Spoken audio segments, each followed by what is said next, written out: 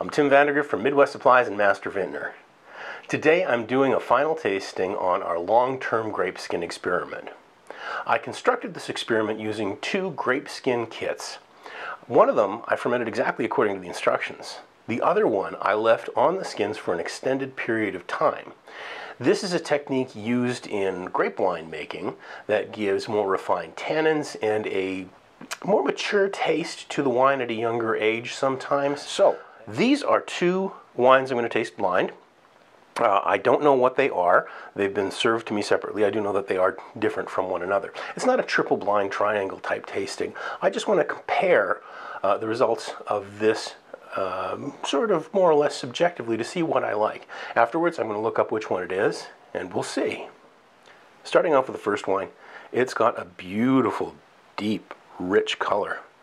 Deep red, ruby highlights, very nice, very clear. Huge impact of fruit.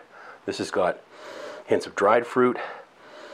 Mm, the oak comes through, smoky, toasty, vanilla, hints of honey, plums, dark berries. This is really rich. This is a very big wine.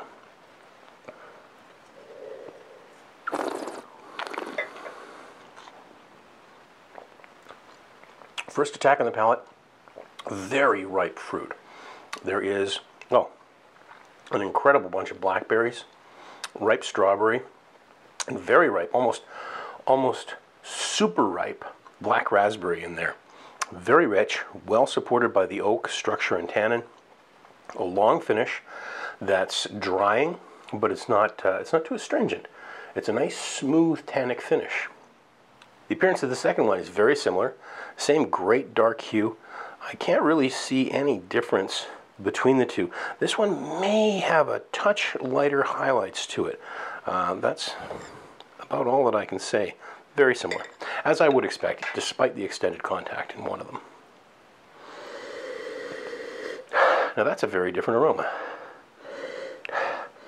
Less effusive fruit, a little more structure, seems a little, little less um, uh, buoyantly fruity or as exuberant as the first one. But still, there's some nice raspberry in there. a hint of cherry. Good ripe sweet fruit.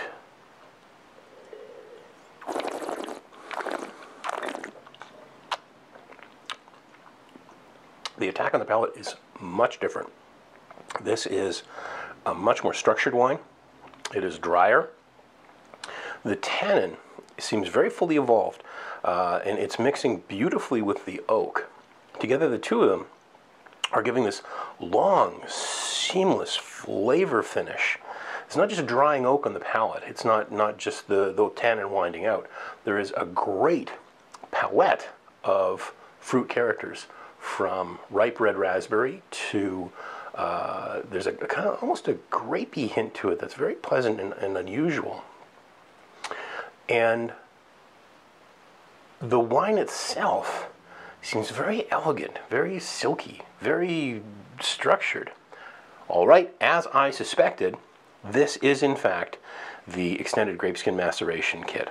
It is altogether a different wine. Uh, this is fine. This is, no, it's more than fine. It's, that's damning it with faint praise. That is a great bottle of wine. That would be perfect with any uh, meat dish, a stew, a, a well-grilled steak. Uh, Italian dishes would be fantastic. Charcuterie would be an excellent choice. Uh, the, the effusive fruit and the good structure is going to stand up to a wide variety of extremely flavorful stuff. Barbecue is probably going to really sing with this. This wine is clearly superior. Uh, the flavor is more subdued. You have to look for it a bit more. I think that if this is let breathe, they'll even out a little bit. The fruit in this will stop being so uh, effusive and come down uh, just to smooth out a little. And this one will probably open up and give a little bit more fruit over the next course of the next hour or so. I have to say, this is knocking my socks off. I can't believe the difference between these two wines simply based on an extra couple of months uh, contact with the skin. And it's a very simple technique. Anybody can do it. Heck, I did, just uh, on a whim. Uh, if you've got the time to wait, Extended maceration on grape skins is definitely a huge win for your wine. I couldn't be happier with how this experiment turned out. Both of these wines are excellent. When you make wine from one of our kits, you're going to have a great result first time and every time. On the other hand, with a modification of techniques that's as simple as leaving it in contact with the skins for an extended period, you can get results that will personalize that wine and make it truly spectacular. Thanks for watching. I'm Tim Vandergrift for Master Vintner and Midwest Supplies.